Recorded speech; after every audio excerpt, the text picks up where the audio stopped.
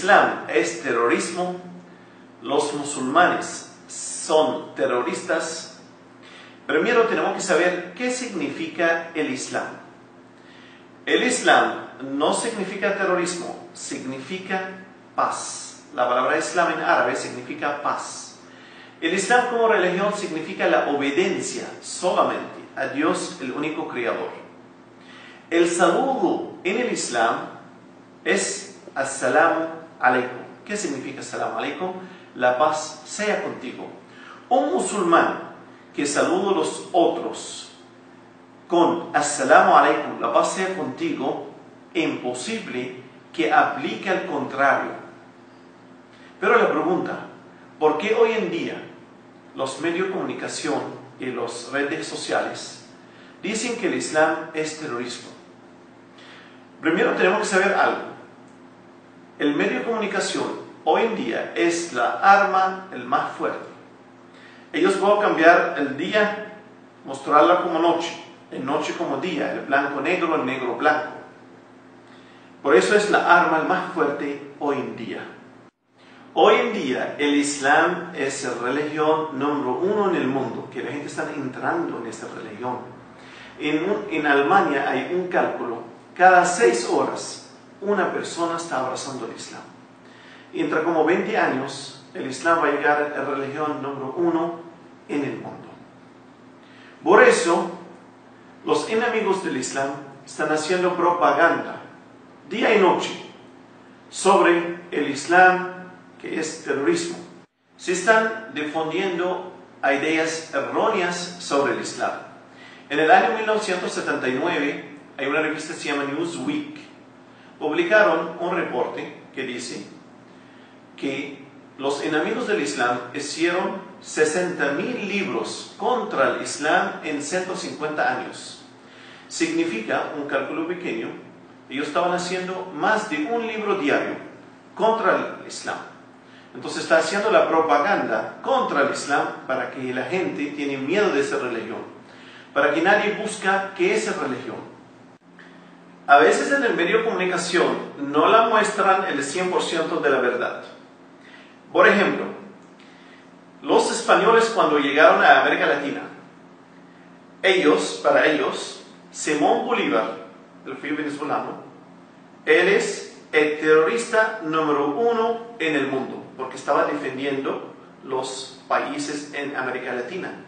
Para los latinos, Simón Bolívar fue bueno. Para los españoles, no, ese es el terrorista número uno.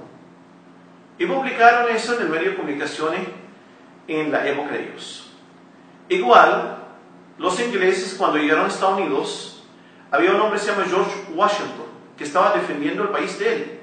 Para los ingleses, George Washington fue terrorista número uno. Pero para los americanos, George Washington fue buen hombre. No quiere que un país extranjero que controla el país de él. Ese terrorista número uno, el que ellos llamaron así, él después llegó el presidente de Estados Unidos. Igual, Nelson Mandela, en Sudáfrica, los ingleses estaban allá.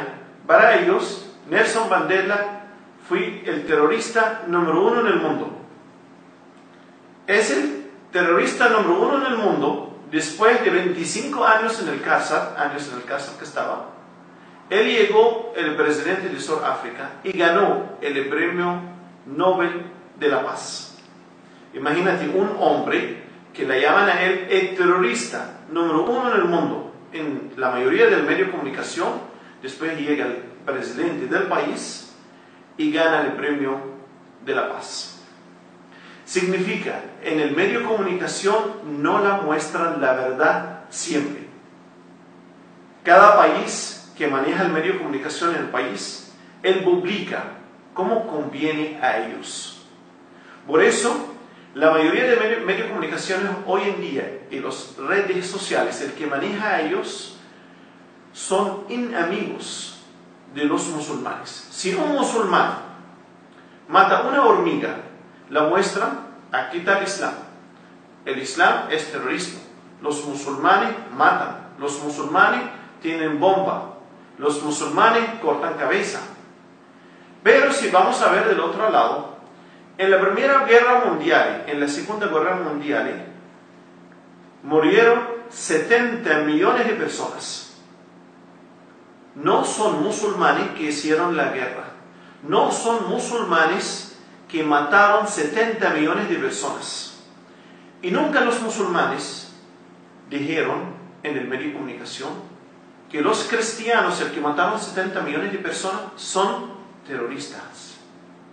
Nosotros entendemos que en cada parte en el mundo, en cada religión, hay gente que hace actos buenos y hay gente que hace actos incorrectos.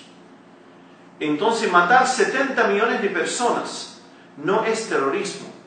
Y si un musulmán equivocó, vamos a generalizar y mostrar que así es el Islam, esa manera es injusta completamente. Si un médico equivocó, no significa que el error es de la medicina. Es el error del médico. Igual si un musulmán equivocó, no es el culpa del Islam y no es el culpa de todos los musulmanes en la tierra, es el error de este musulmán. Los musulmanes no son perfectos. Nosotros al final somos seres humanos. Hay musulmanes buenos, hay musulmanes hacen cosas incorrectas. No somos perfectos. Pero el Islam es la religión perfecta porque es la religión del Creador. Quien quiere saber sobre el Islam tiene que leer el libro sagrado Corán, tiene que acercar a buscar el conocimiento en el Islam. No tiene que fijar en los musulmanes que hacen hoy en día, porque los musulmanes no son perfectos. Hay hoy en día un grupo, no representa el Islam, se llama ISIS no sabemos quién son ellos. La mayoría de ellos tapan la cara. No sabemos si son musulmanes o no musulmanes. Porque no es cada, cada persona que dice Allahu Akbar, Dios es más grande, mata a una persona, ya es musulmán. Porque no sabemos quién es. ¿Por qué hace eso? Ese grupo, se llama ISIS, no representa el Islam. Porque la mayoría de los actos que ellos hacen totalmente no tienen nada a ver con el Islam. ¿Ellos cuántas personas son? ¿Dos mil, diez mil, veinte mil, cien mil personas? Eso no llega a 0.01% de los musulmanes a nivel mundial. Hoy en día están haciendo propaganda en el medio de comunicación que el Islam es ISIS.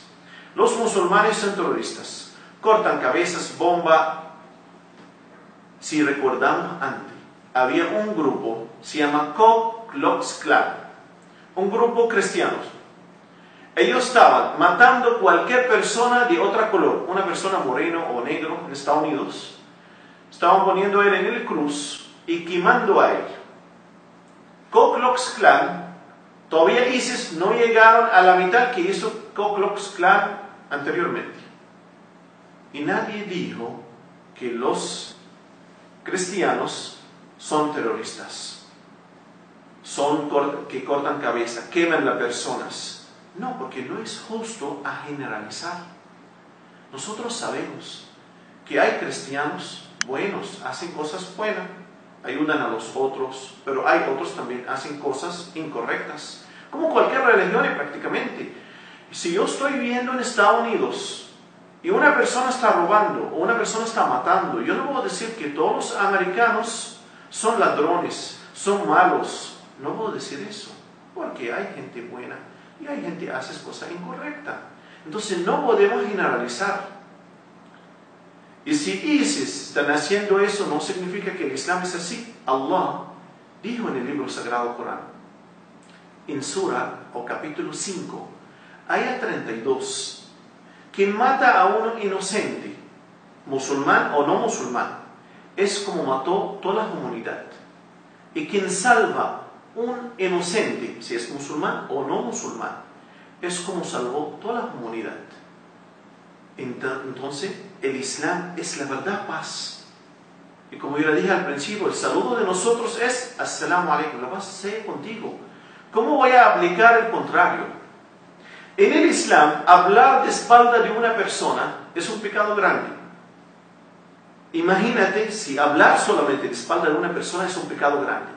Imagínate si hoy a pegarlo, o a robarlo, o a matarlo, es un pecado muy grande Dios va a castigar a cualquier persona está matando a los inocentes en el día del juicio final.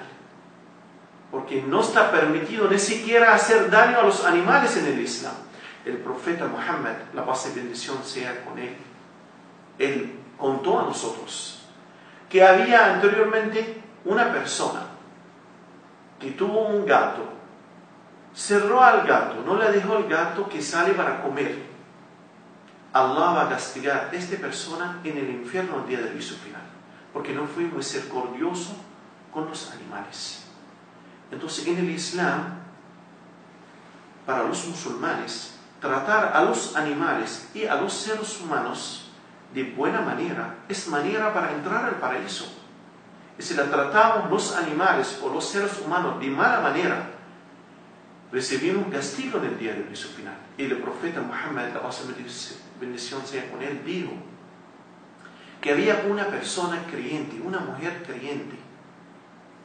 Ella estaba haciendo varios pecados.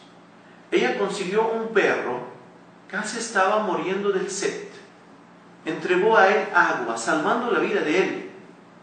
Allah va a entregarle al paraíso.